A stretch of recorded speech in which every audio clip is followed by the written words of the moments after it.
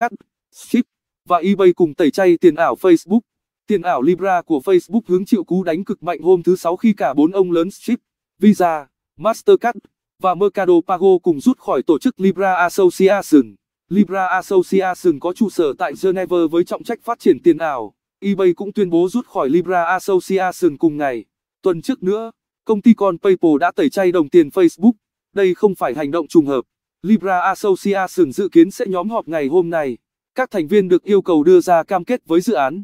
Và tất nhiên Chip, Visa, Mastercard, eBay hay Mercado Pago không muốn đưa ra cam kết này. Đây tiếp tục là tin xấu với Facebook. Khi mạng xã hội này giới thiệu Libra từ đầu năm, công ty hy vọng số thành viên tham gia sẽ tăng từ 27 lên 100 trong năm 2020. Hiện tại, số thành viên chỉ còn 22. Các công ty như Visa và Mastercard có rất nhiều kinh nghiệm đối phó với nhà làm luật. Nếu mất sự ủng hộ của Visa và Mastercard, tiền ảo Facebook sẽ gặp khó khăn rất lớn. Một trong những vấn đề nan giải nhất của tiền ảo là kết nối với hệ thống tài chính truyền thống. Có vẻ Libra chưa có được điều này.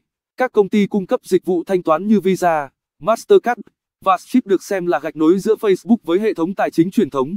Tuy nhiên, với sự rút lui của họ, Facebook sẽ phải tự mình giải quyết vấn đề.